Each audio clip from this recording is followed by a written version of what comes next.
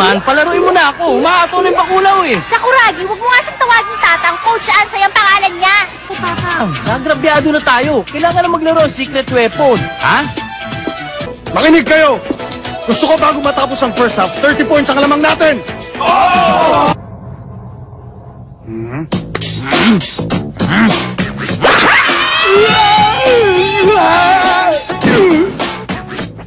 Bakit mo ginawa yun? How dare you! Referee! Referee! Richie, nagalit si Tatang dahil sa kalokohan mo, kaya ikaw dapat ang gumawa ng paraan. Kausapin mo na! Huwag mo nga akong tawagin, Michi, ha? Tsaka bakit tandaan tawag mo kay Coach Sansay? Sumusobra ka na! Wala kang ganang! Ah, eh, eh, Bakit ba dikit ka ng dikit sa akin? May gusto ka sa akin, oh! Ah, Referee! Tingnan nyo, oh! Nakakapit na siya sa bewang ko! Dalawa. Dalawang tira ang gagawin ko. Oops.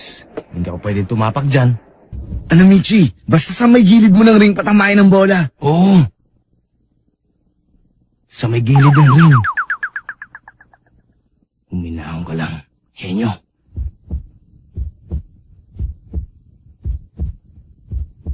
Hindi, dapat malayo sa board. Hmm? Tingnan mo na lang kung saan pupunta ang bolang yan. Malayo! Sa gilid. Hindi, malayo sa board. Gilid. Malayo. Kapag na-shoot ko ito, pareho na kami. Hindi ako dapat sumablay sa dalawang bolang ito. Hindi ako pwede magkamali. Kahit isa. Sablay, sablay, sablay, sablay, sablay, sablay. Sa malayo. Sa may gilid lang. Saan ba talaga? Ano ba? Tigilan niyo na ako. Sablay, sablay, sablay, sablay. Five second violation! Ikaw ha?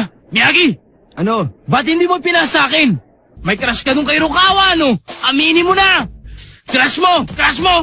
Crush mo! Crush mo! Crush mo ang hambog na yon! Sakuragi! Oo!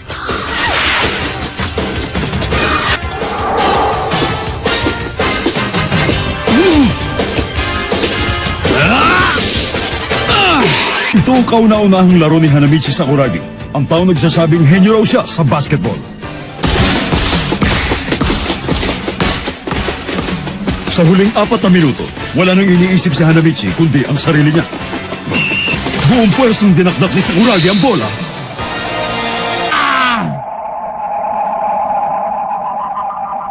Ha?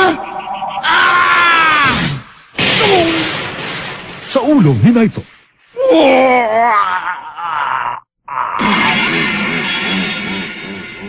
Ang gano!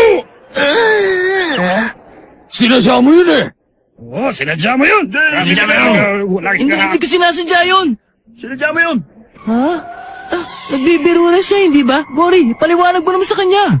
Loko. Hindi ko nga sinadya yun eh! Ano ka ba? Tumahimik ka! Nakalimang foul ka na! Foul out ka na rin! Hindi ko naman sinadya yun eh. Hindi ko gusto yung nangyari. Hindi ko naman sinasadya yun eh. May gusto lang akong patunayan. Sa kanyang unang laro, walang nagawang punto si Hanamichi. At paglipas ng 16 minutes sa second half, na-foul out na siya.